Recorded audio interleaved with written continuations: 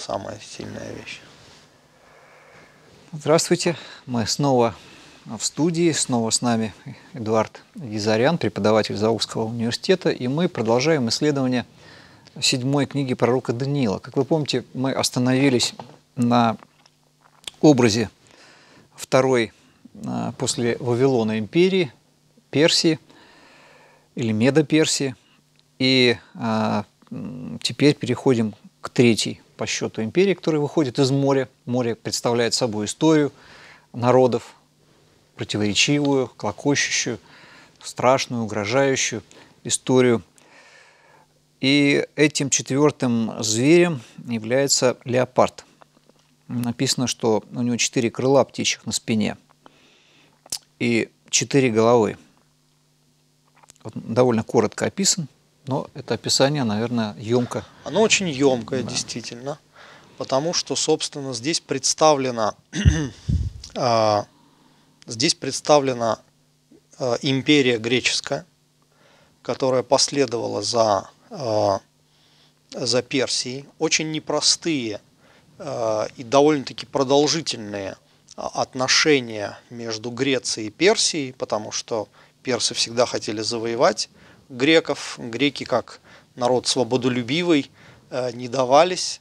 Э, это даже можно проиллюстрировать тем, что во времена, э, во времена Ксеркса, когда Ксеркс пытался напасть и воевать с греками, даже вот Флот очень, построить. да, очень известная, очень известная вот эта вот история, связанная с тремя стами спартанцев, вот Ксеркс говорил о том, что да их так мало, говорит, а мы их одолеем да, очень да. быстро. Шапку а, сгинаем. Да, а у него был э, в, на службе грек э, Фемистокл, который говорил, да ты не понимаешь греков, царь, э, ты надеешься на то, что у тебя большая армия, но твоя армия, она состоит в основном из рабов, это люди, которым нечего терять. А им, им все равно на чьей стороне воевать. А, а греки, им есть что терять. Они воюют за свою свободу. Поэтому они будут воевать до конца жизни. Они будут воевать до последней капли крови.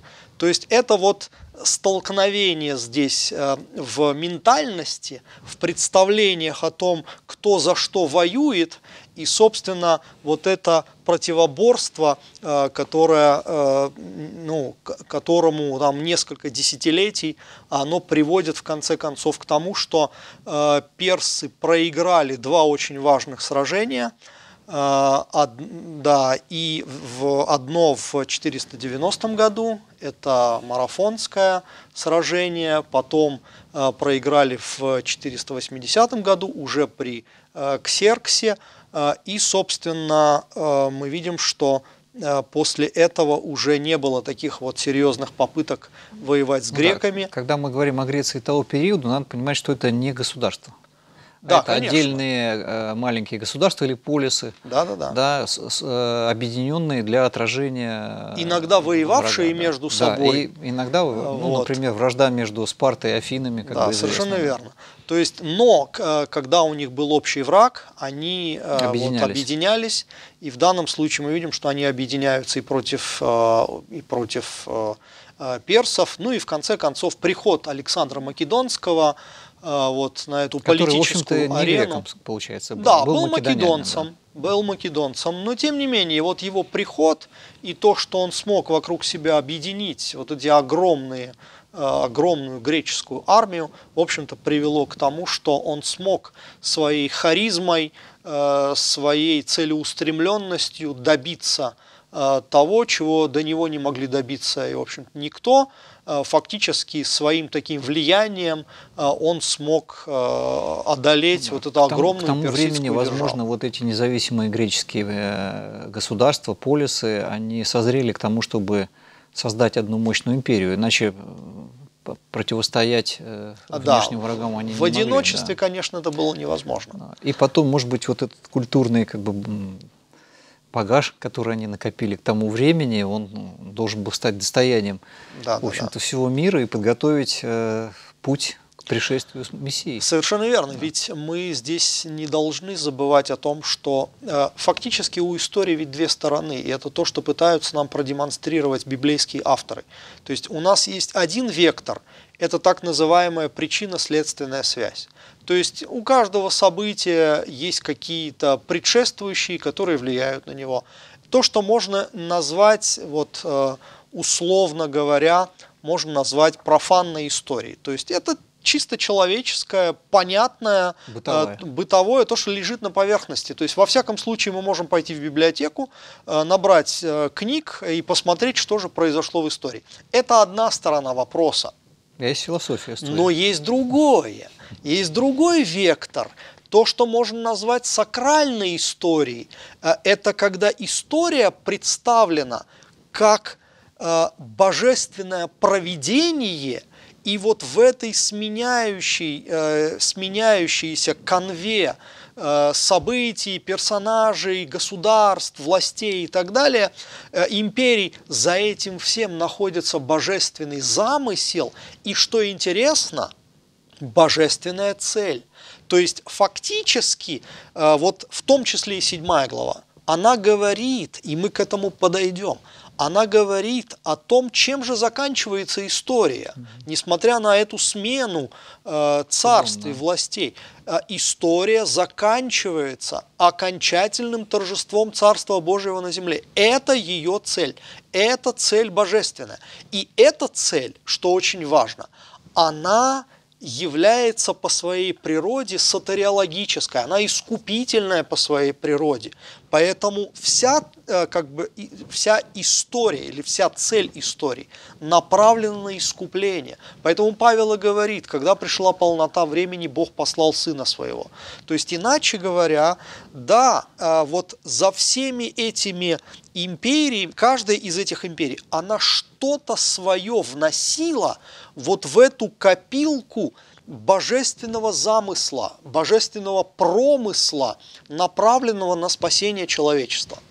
И поэтому, когда приходит, собственно, персов сменяет греческая империя, она своим влиянием привносит очень важные элементы, которые в свою очередь повлияют на э, распространение христианской церкви, на распространение Евангелия э, и на то, что церковь фактически уже в новую эпоху, в новую эру, она стала распространяться очень быстро. Потому что влияние греческого языка, перевод э, Ветхого Завета на греческий язык, язык септуагинта, э, распространение диаспоры еврейской и в каждой диаспоре там появление самого главного института иудаизма, синагоги. Ведь эти все вещи, они связаны отчасти и с тем, что, э, собственно, Александр Македонский и его последователи привнесли то, что называется процессом эллинизации. Евангелие на каком языке написано? Евангелие написано, конечно, на греческом языке. Послание. Да, то есть, иначе говоря, вот начинается такой процесс эллинизации. Да, э, это насильственная Э, навязывание греческого, э, греческой ментальности, греческой культуры, языка и так далее. Это насильственное э, соединение греческого с восточным. Но тем не менее, оно дало какие-то и свои определенные результаты. Да, мы говорим о эллинизме как о смешании вот этих, как о синтезе да, восточного верно. и греческого. Совершенно верно. Да.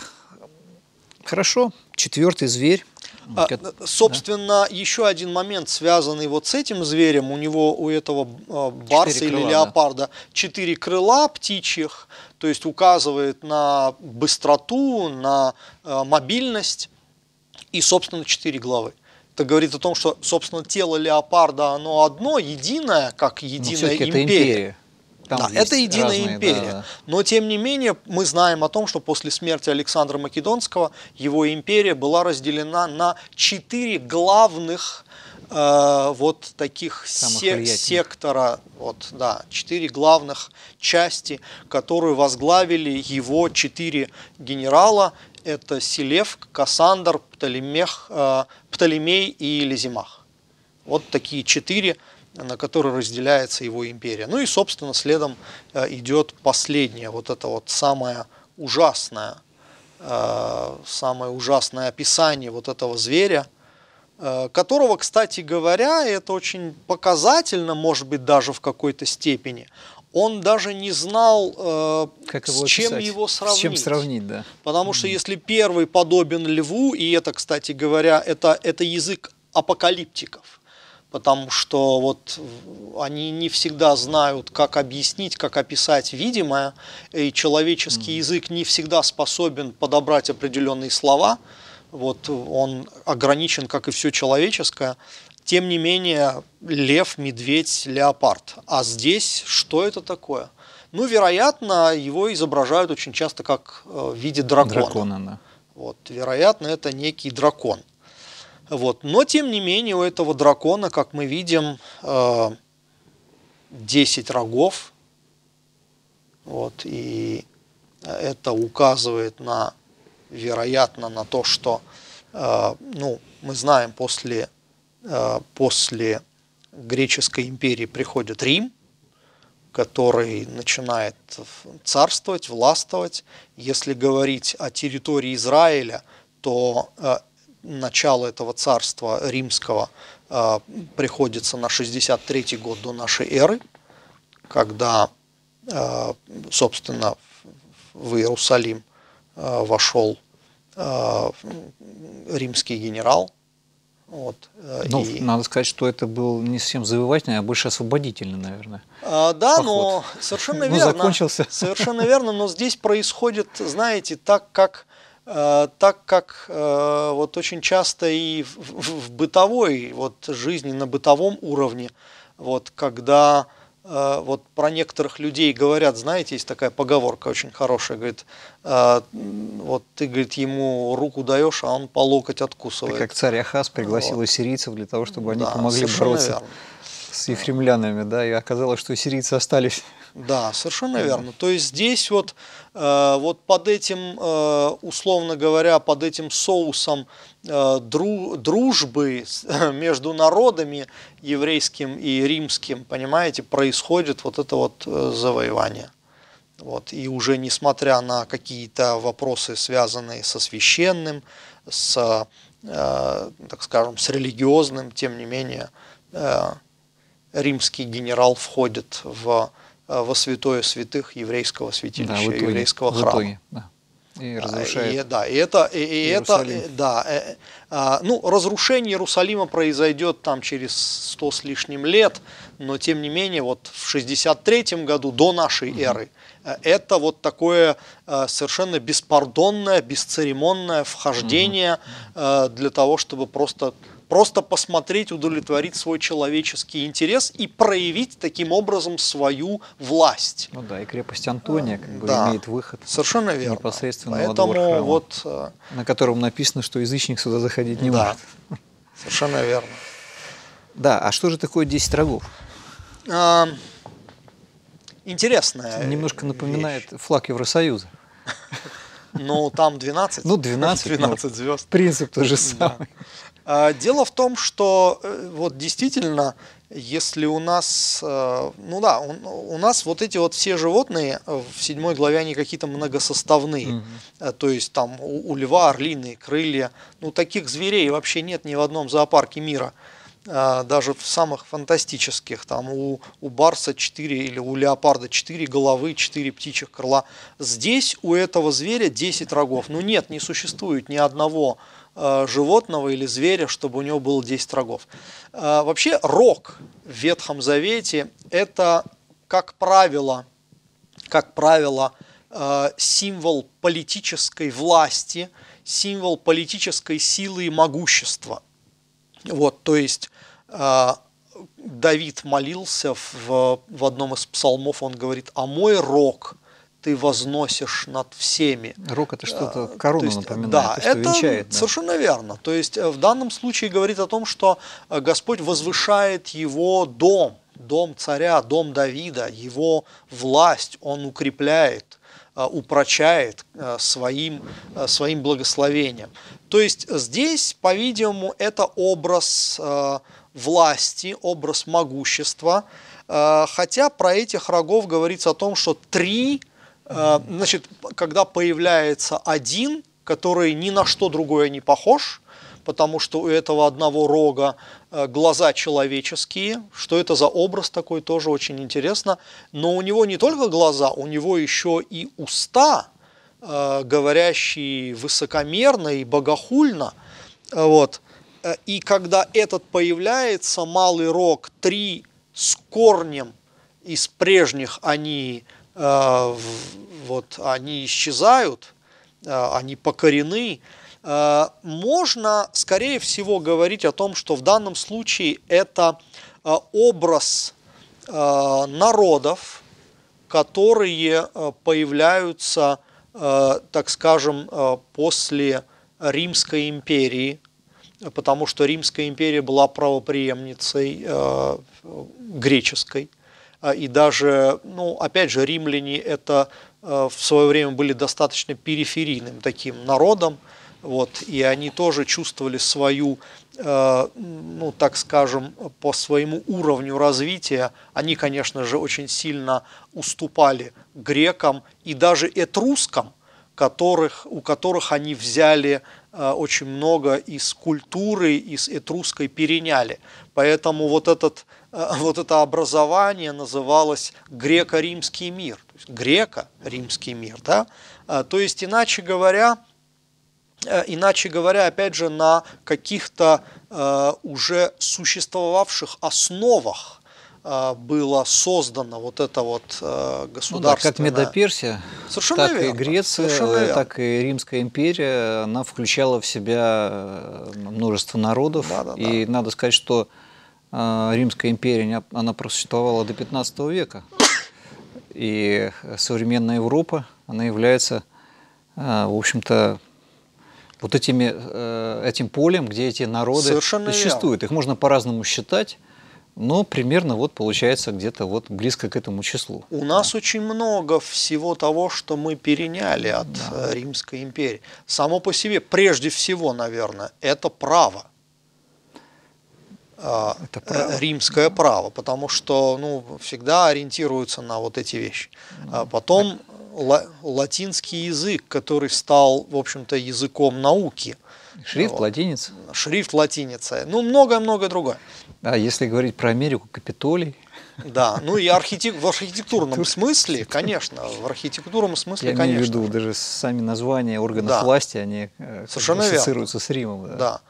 Поэтому мы много что переняли. То есть в этом смысле... В этом смысле Рим продолжает существовать. А, да, отчасти, конечно. Отчасти. отчасти, конечно. Вот в виде этих рогов, да. Да, которые здесь. Потому что, ну, вероятно, это, э, вероятно, это символ, потому что 10 в э, еврейском мышлении вообще 10 это символ минимума. Угу. Поэтому, кстати говоря, и, наверное, нет смысла пытаться Э, идентифицировать, да. идентифицировать вот эти рога с какими-то определенными европейскими народами, э, вот и там в основном более, это германские внутри племена. любых народов как бы существовали деления Конечно, еще более безусловно. мелкие, да, можно да, да. насчитать огромное количество. Тем более, что и, наверное, нельзя в этом смысле делить Европу на 10 буквально государств, да, потому да, что да. никогда 10 не было, было да. всегда одна, одна только Германия, она включала в себя там буквально до Э, какого времени она включала в себя множество различных независимых княжеств. Италия то же самое. Вот, поэтому это э, символ минимума, который говорит о том, что, э, так скажем, это минимум.